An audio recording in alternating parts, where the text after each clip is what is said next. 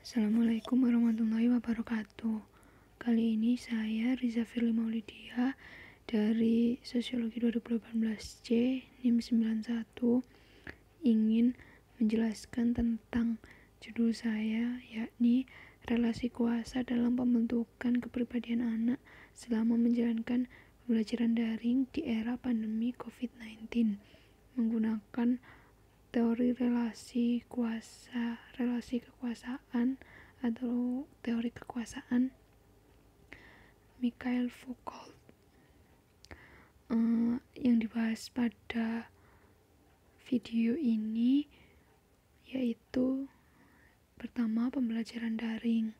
Pembelajaran daring ini muncul karena pandemi COVID-19 uh, sehingga semua semua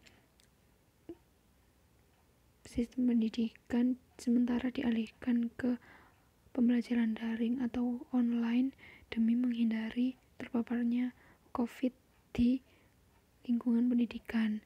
Yang kedua yaitu membicarakan tentang kepribadian anak yang mencangkup pikiran, perasaan, tingkah laku, kesadaran, dan ketidaksadaran. Dalam situasi dan kondisi belajar yang baru ini, kepribadian anak yang dimaksud ialah karakter dan sikap sang anak. Yang ketiga yakni pembahasan tentang peran orang tua, yang di mana diperlukan peran orang tua agar pembelajaran daring dapat diterima dan dilaksanakan dengan baik oleh siswa. Yang terakhir yakni tentang relasi kuasa, adanya relasi kuasa antara orang tua terhadap anak guna menerapkan sikap patuh dan taat agar eh selama mengikuti pembelajaran daring. Pembelajaran daring, ya, atau yang biasa disebut online dalam jaringan merupakan pembelajaran yang sepenuhnya memanfaatkan platform digital dari kemajuan teknologi seperti Google Meet, Google Classroom, Zoom, WhatsApp, dan masih banyak lagi. Pembelajaran daring di saat seperti ini diterapkan pada suatu zona merah guna menjaga agar tidak tertular dan terpapar dari virus COVID-19.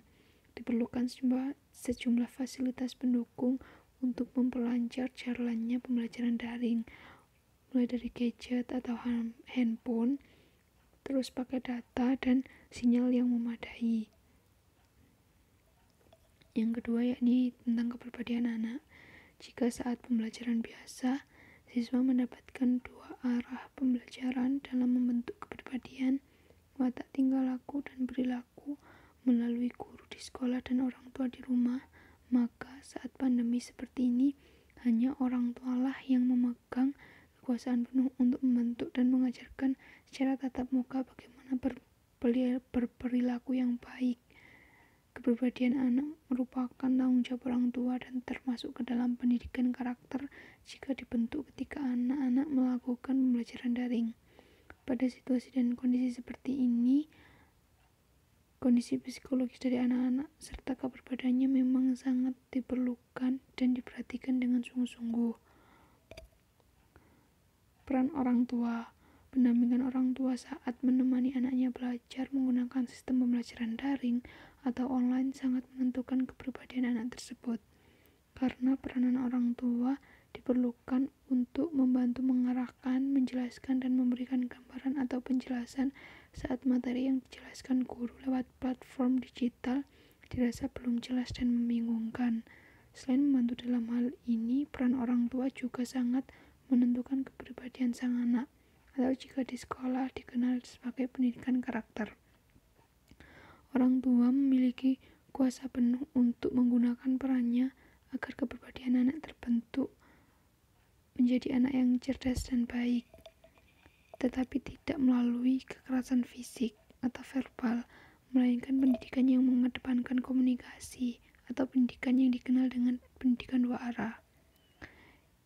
Terakhir yakni relasi kuasa. Menggunakan konsep teori kekuasaan Michael Foucault, diharapkan mampu mengetahui relasi kuasa yang bagaimana dilakukan orang tua terhadap anak. Karena saat melakukan pembelajaran melalui platform ini, baik secara anak eh, anak-anak bisa membuka hal lain yang mampu merusak kepribadian tersebut. Contohnya saat melakukan pembelajaran melalui Zoom, hendaknya orang tua menampingi dan mengarahkan. Apabila sang anak sudah mulai bosan dan ingin membuka hal lain seperti YouTube atau bermain game, maka tugas orang tua lah mengarahkan dan memberikan nasihat. Jika dibiarkan, maka kepribadian yang terbentuk terhadap anak bisa saja tidak sesuai pengawasan.